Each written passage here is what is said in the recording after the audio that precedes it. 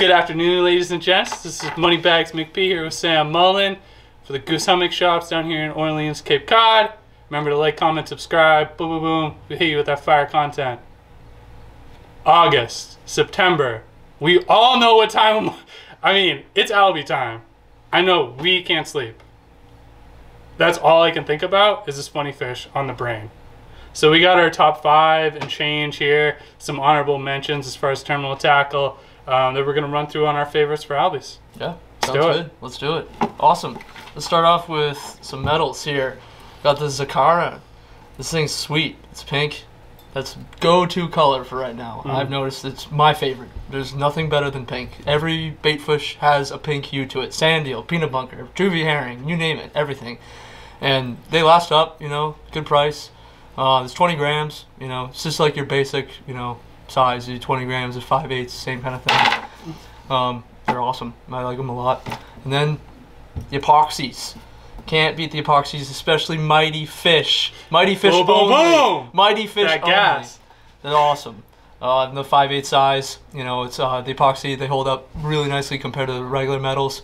Um, you know, especially when you get the Spanish Max and Bonito, and then uh, the, unfortunately the cocktail blues. You know, they can slice you off and they ruin your epoxies and that kind of stuff. But the epoxies do hold up better than the metals. So um, yeah, and trebles.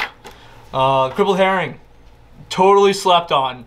This is by far probably one of my favorites, and it is the most OG out of all the OGs. Um, perfect imitation for small peanut bunker and small juvenile herring. Um, you know, it just gives that flash, which that's the most important thing with albies is the flash. And uh, you know, just upgrade your hooks, but you know, it's it's an awesome, awesome albie lure. Um, Bill Hurley, the squids. Uh, these and the rips are sweet when they're squid around. They give an awesome, awesome invitation. The action on them, and it's even funny. They say includes three times weighted hook, rattling, moving fish eyes. It drives them crazy. That's what they do because we like all because we all go crazy over funny fish. That's all we do. And lastly, the Yo-Zuri Crystal Minnow in deep diving and in the shallow. These are awesome to troll, wicked fast with light tackle, and the Bonito just hammer them. It's it's it's a lot of fun, and you know especially on like the Billingsgate and everything like that, and then the Hooter and stuff like that. It's they're a blast. It's Yeah, I'd say 70% of my Bonito are on the Crystal Minnows for sure. Yeah. All right, starting off with a classic, Deadly Dick. This is that like rainbow colors, three quarter ounce, cast really far, really slim, small, and like the crippled herring. This thing's been around since the dawn of time. It catches every species, almost as ver- ver- uh, versatile as the bucktail. Almost, almost, almost. Cape Cod Classics, the RonZs, the little four inch variety. These things are absolutely killer. Silver and the pink, again with the pink. Uh, I think we will both vouch for that. Pink Electric Chicken is just the absolute go-to for me. Um, something maybe a little off the beaten path. Most people don't get into these guys.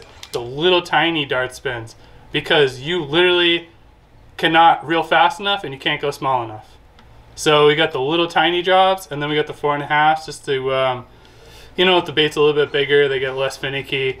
Um, the other day, like I literally wish I had this little guy because they were on. I mean, snot bait. When I say snot bait, I mean like half an inch. It's not rockets. And- yeah. Yeah, literally, you can't go small enough with the epoxies. Yeah. I had the 5 8 ounce, and my buddy had the 3 8 and he was literally double the hookups for me. You know what I mean? It was unbelievable. Yeah. So, little guys, I'm definitely going to be pulling that out next uh, Thursday and Friday. Hopkins spoon, Matt's favorite. Single hook, um, less damage to the fish. We all know these things bleed like crazy. You got to get them back in the water really quick, help survival rate of them. Um, Mm-hmm. Throw 'em like a it- football. yeah, throw them like a football. You really want to uh, rush fresh water over the gills to kind of re-energize them. Um, so just get them um, on the boat as quick as you can, unhooked, and then back in the water. Make a great pick, but make it quick. You know, get them back there because you're not going to be eating them, so you might as well release them safely. I said almost as good as the bucktail because we're pulling out the little bucktail. I have actually caught numerous albies on the three quarter ounce bucktail, schoolie fishing when it's this time of year.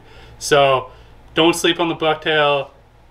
It catches everything, including funny fish. So highly recommend them. The little green or white or the straight white would smack the heck out of them.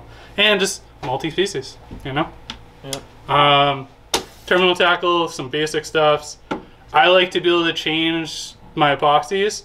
Um, we all know that albies are super finicky, so I like to be able to lock down what they're feeding on by changing quickly. Um, I'll usually run these in the first light to kind of figure out what they're keying in on, and then cut off the clip and just do a loop knot from there on, just to maximize my hookups. But these are great, and I feel like they're so small that this isn't really going to make a big difference between you hooking up and not. You know, um, it's more critical to find out what they're feeding on, and after you do that, you're you're golden. You know. Um, speaking of golden, at the gold. Seaguar gold Gold. label, 15 pound. Um, I think is basically what um, Sam and I both run for the Albies.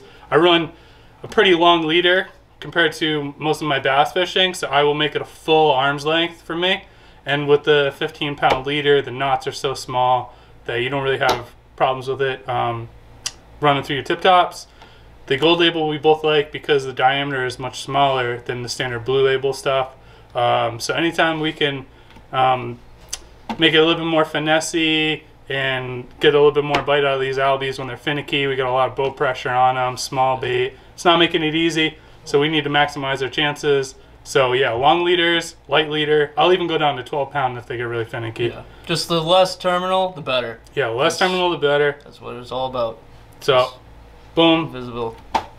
Sam, money bags, Albie season. Early season. Come go in. crazy. It's a, it's a comedy show out there. It's just nuts. Yeah, it's nuts. And in here. Yeah. Have a great day, you guys. Peace. Peace, love, stay tight.